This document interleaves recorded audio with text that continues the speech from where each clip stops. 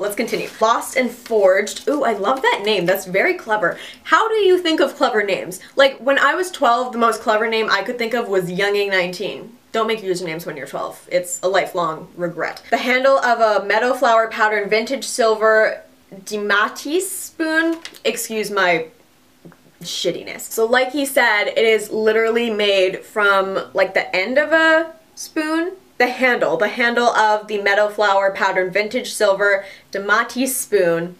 Oh, that's so pretty. I'm so excited. Thank you so much, Doug. And you can have more of their stuff from uh, lostandforged.com.